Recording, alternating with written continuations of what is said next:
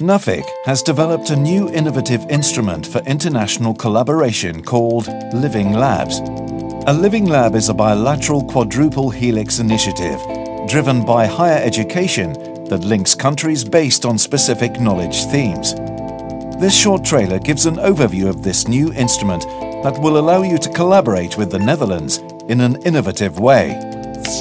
The Dutch government has identified nine key areas in which the Netherlands excels. Agriculture and food, horticulture, high-tech industries, energy, logistics, creative industries, life sciences, chemicals industry and water. These areas are also related to some of the great challenges of our time on a global, national, regional and local level. The challenges define the agenda of both the policy of the Dutch government and Europe's research framework programme Horizon 2020. The Netherlands has always operated in an international area of trade, research and innovation. The Living Labs are a logical next step in this tradition. In order to find the right response to these challenges, innovation is needed. The Living Lab philosophy optimizes the potential for innovative international collaboration. The Nuffic, based in The Hague in the Netherlands, supports internationalization in higher education and research. It has set up offices around the world in a limited number of designated countries under the Neso program. Neso stimulates staff and student mobility and innovation initiatives. Through its global network of Neso offices, Nuffic acts as a liaison for international collaboration based on the Living Lab philosophy.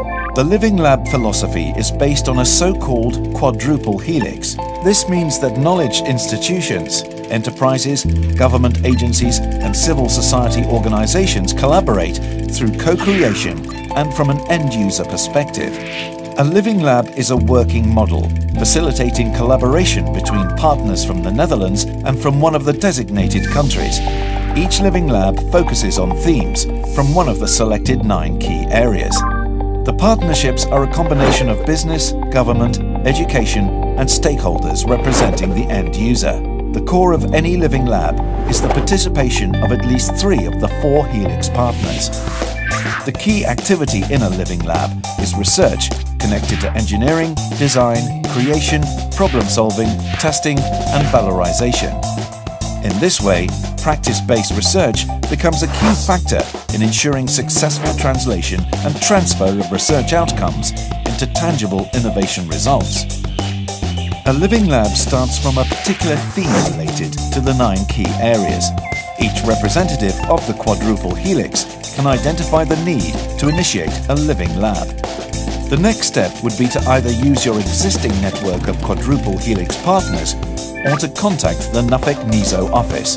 They function as a matchmaking platform for higher education institutions from the Netherlands.